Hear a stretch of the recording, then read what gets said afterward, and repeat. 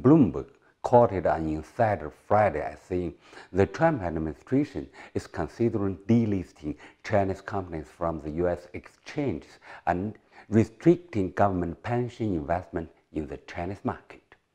If Bloomberg's report is true, it's just another crazy plan by the US government to disrupt the market.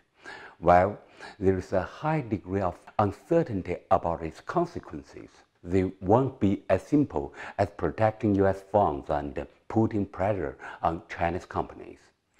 Chinese listed companies in the US are mainly high-tech enterprises, which serve as a conduit for American capital to benefit from China's development. China has a lot of potential and motivation to develop, the best part of which American investors engage with through Chinese tech companies listed in the US. Alibaba, for example, is listed in the US. When American investors buy Alibaba shares, clearly it's not simply just a transfusion of US capital to Alibaba. Some American elites have forgotten the basic fact that China is not a country short of money. What the world lacks most is not money, but high quality business opportunities.